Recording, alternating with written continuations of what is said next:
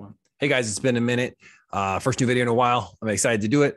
I was just reading today on Bleeping Computer, which is one of my favorite sources just for up to date stuff. And I noticed, hey, there's a still vulnerabilities out there for this proxy shell vulnerability. And I was like, well, this looks like a good candidate to kind of walk through real world scenario.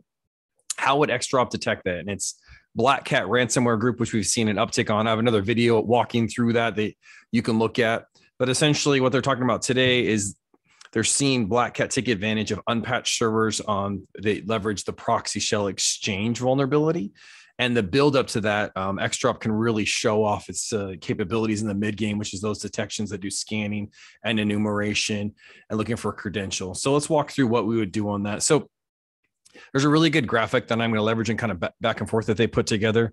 Use this as my challenge piece. Like, all right, this is the Black Cat, you know, ransomware leveraging proxy shell and logon, how would ExtraHop detect it? So I'll move back and forth this and we'll do kind of a lightning round here. All right. So exploits unpatched exchange server. So what would that look like? Let me go. Um, let me kill this one actually. Let me go here. And so if you if you haven't seen my other video, I'm not going to go through this, but I have a bunch of stuff on Black Cat ransomware they did a couple weeks, uh, a couple months ago. So take a look at that. And so essentially, we have a threat briefing for proxy shell. This will show you your exchange servers and detection exploits. That's first and foremost. Someone's trying to come in. You need decryption turned on for this to work. Very powerful. All right. I don't have decryption on Josh. I still want to see what's going on. Okay. What else happens? All right. Let's move on.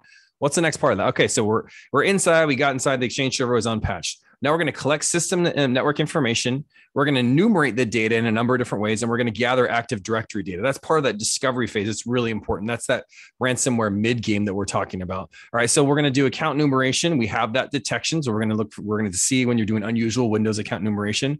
You're going to do network share enumeration. You're going to do Active Directory enumeration as well. And then so once we we see all those things, we have detections for all those because you have to act on the network. So now we see all that. All right, ExtraHop's popping detections. You're starting to take a look and say, what's going on? Now, credential theft. So obviously your EDR and SIEMBR is going to help detect this as well, but we have um, the ability to see remote registry modification. If I'm going to do um, credential theft, I'm going to have to do some remote registry. Typically, I'm going to have to get in. Not always, just depends on how you're accessing it. But this is one of the ways that we can see a remote procedure call try to change the registry to be able to do some credential dumping or put in some malware that's going to do and uh, accomplish the game of getting the credentials. All right. So now we've got the credentials. Now I'm going to do some lateral movement. This is really important. I'm going to use typically RDP in a Windows world is the malicious tool of choice. So you really want to try to lock that down. So what, how do we detect that? So once we've been in, I got the credentials. Now I want to try to get inside and move around. So we see this unusual traffic from remote desktop. We have internal and external. We got lots of detectors for this. This is a really good one for ExtraHop because RDP uses certain protocols and it's talking to certain IPs. We can detect when that's unusual. Josh's laptop or this Windows VM or this Kubernetes cluster usually doesn't do RDP this way. This container usually doesn't do RDP this way. And so boom, we're going to we're going to pop a behavior anomaly for you on that. And then we can send that directly to your existing security tools to stop it in its tracks, right? Okay.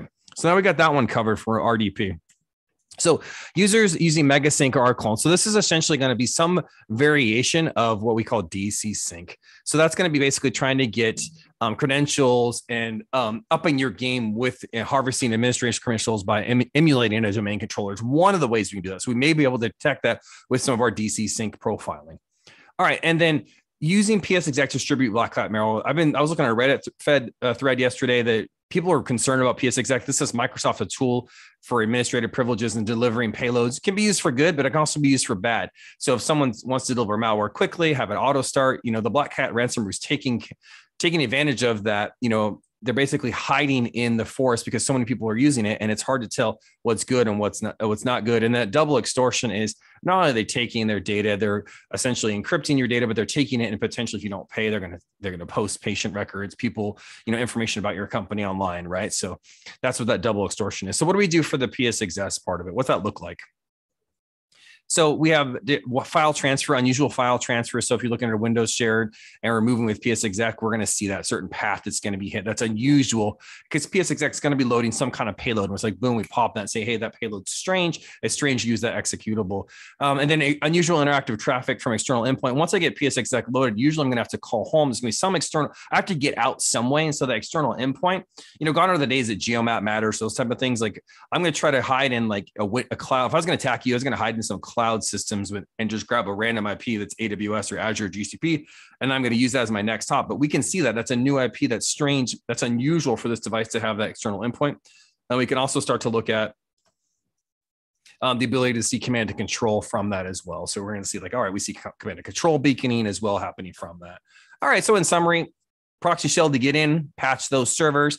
We see this mid game of discovery, credential threat, lateral movement, and exfiltration really well. And then we're going to be able to see some of that PS exec activity when they load malware. And so I think this is an attack that ExtraHop would do relatively well on. Thanks for your time. Appreciate it.